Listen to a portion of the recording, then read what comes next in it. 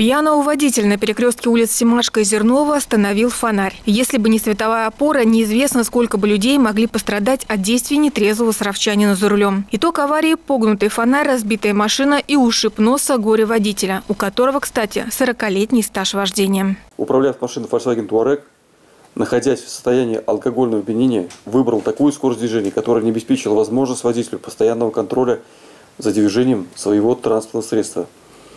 А, при повороте налево не справился с управлением и совершил наезд на препятствие световую опору. Александр Ксенков отметил, что 63-летний мужчина находился в таком сильном опьянении, что не смог ничего сказать в свое оправдание. Это называется «не могу идти пешком, поеду лучше на машине».